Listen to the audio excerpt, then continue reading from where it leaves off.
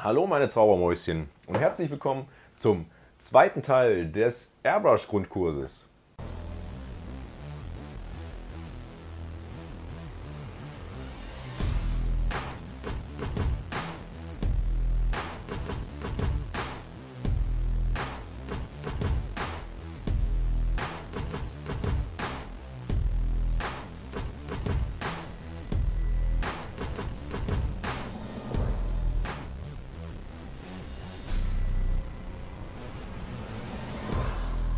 Ja, wenn euch das Video gefällt, dann gerne einen Daumen nach oben, auch gerne einen Kommentar da lassen, ähm, was für Videos ihr euch noch so wünscht. Ähm, ja, ansonsten abonnieren ist natürlich auch sehr gerne bei mir gesehen, da würde ich mich sehr drüber freuen, damit ihr immer auf dem Laufenden bleibt. Und ähm, ja, starten wir doch einfach jetzt. Als nächstes kommen wir zu den Kleinscheiß. Ähm, der Kleinscheiß ist Farbe, Schablone und noch so ein bisschen Reinigungszeug. Mhm. Ähm, kommen wir erstmal zu der Farbe. Farbe benutze ich hier die von Schminke hauptsächlich. Außer das ähm, Weiß von Schminke. Das Weiß von Schminke ähm, deckt nicht wirklich gut. Da habe ich mir eine andere Marke ausgesucht. Verlinke ich euch alles unten in der äh, Videobeschreibung oder Infobox, wie auch immer ihr das nennen wollt. Mm. Ich komme jetzt mal einfach auf die Farbe von Schminke zu sprechen. Ähm, eigentlich hat jede ähm, Farbe so eine Pimpette dabei. Damit könnt ihr die Farbe aufnehmen und dann ganz einfach in die ähm, Airbrush-Pistole einfüllen. Für einen Finger reicht meistens ein Tropfen. Ähm, für alle zehn Finger müsst ihr jetzt nicht zehn Tropfen nehmen, da müsst ihr euch mal so ein bisschen einpendeln. Ähm, ich würde erstmal so wenig wie möglich reinmachen, zwei, drei. Und ähm, wenn es dann doch nicht reicht, dann nachfüllen. Ähm, denn es ist immer Verschwendung, wenn ihr das Ganze dann in den Clean Pot reinsprühen müsst und äh, dann ist die Farbe auf jeden Fall weg und verschwendet. Ich würde sie nicht wieder in die Flasche zurückkippen, denn es kann immer sein, dass die Farbe schon ein bisschen irgendwo getrocknet ist und ihr dann Schmutzpartikel in die Farbe reinbekommt. Das ist natürlich nicht so geil, weil dann verstopft die Pistole. Diese Farbe ist quasi sehr stark verdünnte Acrylfarbe bzw. auf Wasserbasis. Ähm, würde ich euch immer empfehlen, direkt so zu kaufen und nicht selber irgendwelche Farbe dünn anzumischen, denn da kann immer ein bisschen was schief gehen weil die Trocknungszeiten da immer so ein bisschen anders sind. Und diese äh, spezielle Acrylfarbe für Airbrush-Pistolen, die ist natürlich ähm, richtig dafür geeignet und angemischt. Theoretisch könnte man auch mit Nagellack sprühen, würde ich euch aber definitiv nicht empfehlen, weil damit versaut euch nur die Pistole. Da das Ganze wasserlöslich ist, ähm, müssen wir es natürlich sehr gut versiegeln. Da gibt es so ein paar Sachen, die ihr beachten müsst, aber dazu kommen wir dann zu einem späteren Zeitpunkt. Als nächstes kommen wir ähm, zu einem relativ äh, wichtigen Teil. Und zwar sind das die Reinigungsbürsten.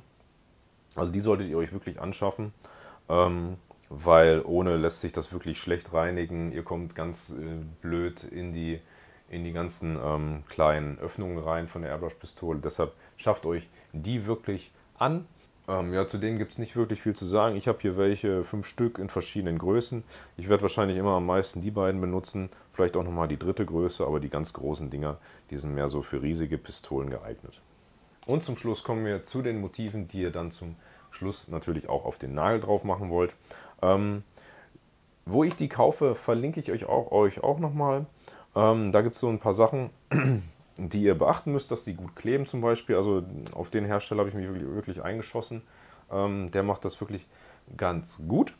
Und zwar sind das Klebeschablonen. Es gibt natürlich auch Schablonen, die nicht kleben. Die müsst ihr dann ähm, sehr, sehr blöd auf den Nagel halten und ruhig sein und dann mit der Airbrush-Pistole draufsprühen. Ähm, ich würde euch immer empfehlen, Klebeschablonen zu nehmen, ähm, denn damit seid ihr wirklich sicherer und ihr habt dann auch ein schöneres Ergebnis. Aber dazu kommen wir dann später auch nochmal. Ich möchte euch jetzt einfach, einfach mal zeigen, wie so eine Schablone aussieht. Das ist so ein ganzer Bogen. Hier sind 1, 2, 3, 4, 5 mal 4, also 20 Schablonen drauf.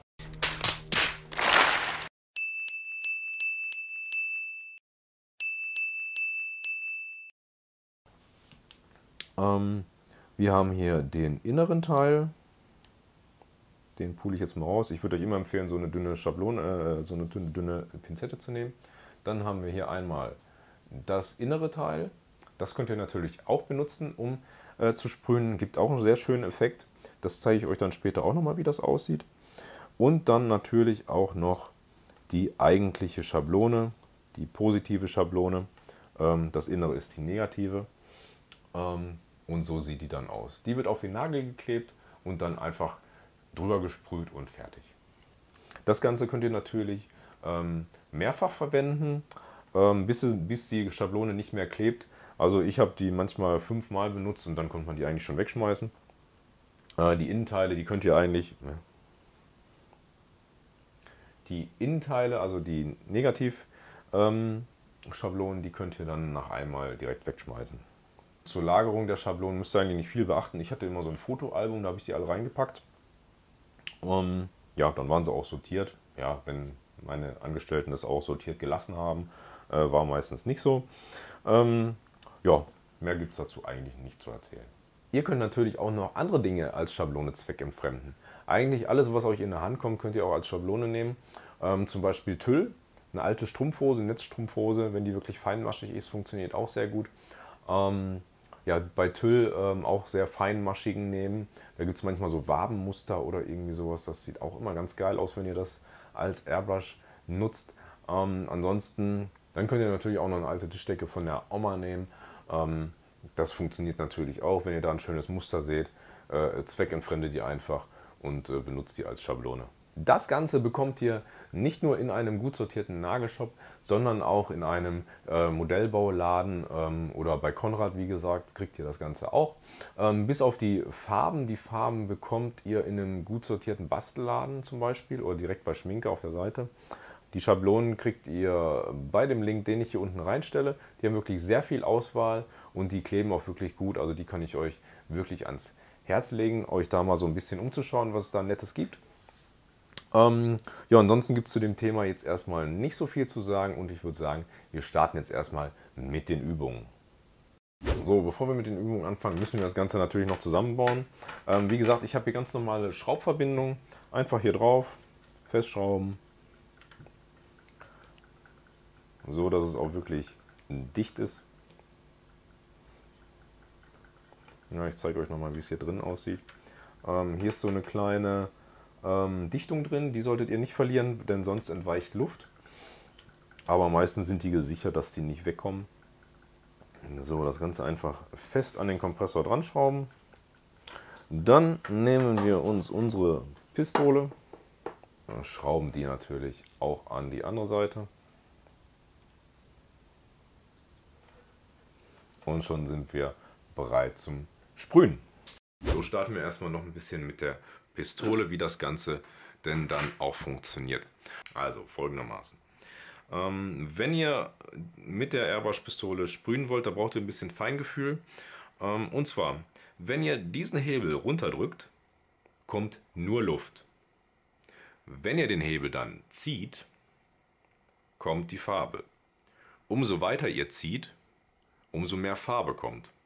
Ja, also ihr arbeitet meistens nur, also ihr drückt erst, Ihr müsst immer drücken, sonst kommt keine Luft, sonst passiert gar nichts. Und dann zieht ihr ihn langsam nach hinten.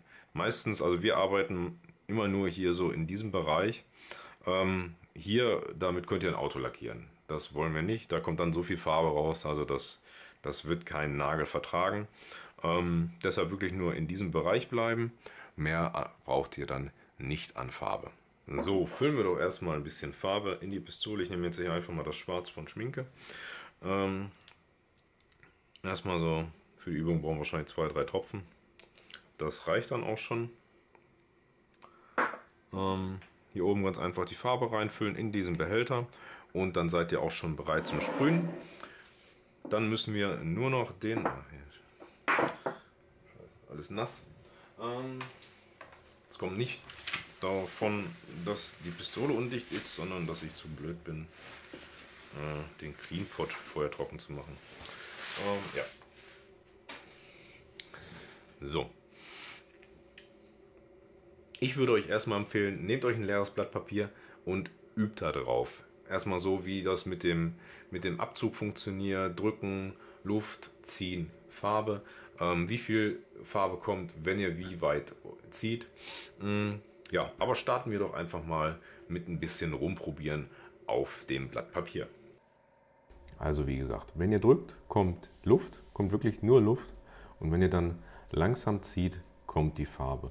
Probiert das erstmal so ein bisschen auf einem Blatt Papier.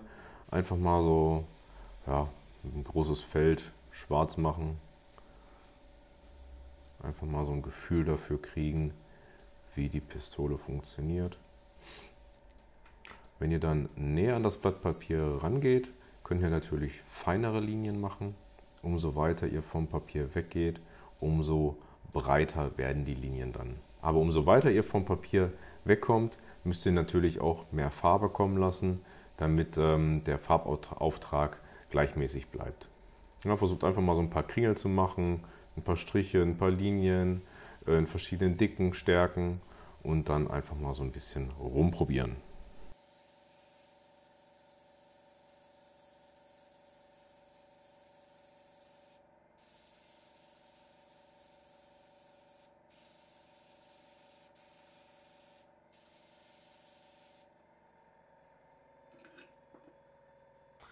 So, die erste Übung. Ähm, das sind ganz einfache Linien. Ähm, die werden wir jetzt versuchen, ähm, so gerade wie möglich einmal nachzuziehen. zeige ich euch, wie es geht. Hier solltet ihr natürlich ähm, relativ nah ans Blatt gehen und nur wenig Farbe kommen lassen. Ups, da bin ich ein bisschen hängen geblieben. Und dann einfach die Pistole gerade einmal durchziehen. Und das war es dann auch schon. So, die zweite Übung wäre dann ähm, dasselbe, aber diesmal versuchen wir ähm, kleine Linien zu machen und immer dicker zu werden. Ähm, ja, starten wir doch einfach mal mit den dünnen Linien. Bei den dünnen Linien wie gehabt nah ans Blatt Papier und umso dicker die Striche werden, umso weiter müsst ihr auch vom Blatt Papier euch mit der Pistole entfernen und umso weiter ihr euch von dem Blatt Papier mit der Pistole entfernt, umso mehr Farbe müsst ihr auch kommen lassen.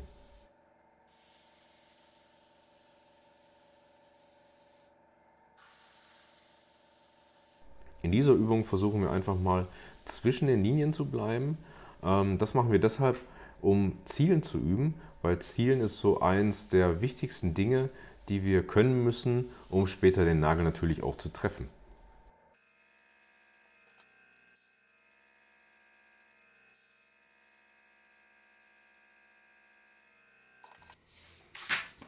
So, äh, vierte Übung. Und zwar äh, geschwungene Linien ist natürlich auch recht wichtig. Ich meine, so große Linien werden wir niemals machen, aber es ist immer ganz gut, auch mal so einen Schwung zu üben. Hier machen wir es ganz einfach wie bei der allerersten Übung. Äh, relativ nah ans Blatt Papier, äh, wenig Farbe kommen lassen und dann einfach mit dem Schwung mitgehen. So, fünfte Übung. Und zwar Kleine Linien, die sind jetzt recht wichtig, weil die werden wir immer auf dem Nagel haben. Ähm, ja, versucht einfach mal so die Linien nachzuziehen. Äh, versucht da so dünn wie möglich bei zu bleiben, denn wir wollen ja auch feine Linien hinkriegen. Ja, hier ist es quasi wie bei der ersten Übung, nur dass wir kurze Striche machen. Ähm, ist natürlich ein bisschen schwerer als einmal so lange Striche durchziehen. Versucht zwischendurch auch mal ein paar Striche zu machen, wo die Farbe etwas feiner drauf ist. Das heißt, dass die Farbe nicht so deckend ist, denn das ist auch relativ wichtig, denn manche Muster wollen wir ja nicht komplett ausmalen.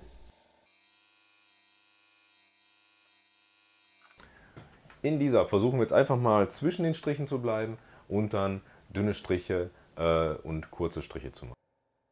Ja, zu dieser Übung muss ich euch nicht viel erzählen. Versucht einfach zwischen den Strichen zu bleiben, so dünn wie möglich die Striche zu machen. Ähm, auch mal ein bisschen weniger Farbe, ein bisschen mehr Farbe. Einfach mal äh, ein bisschen rumprobieren, wie ihr die Striche am besten hinkriegt.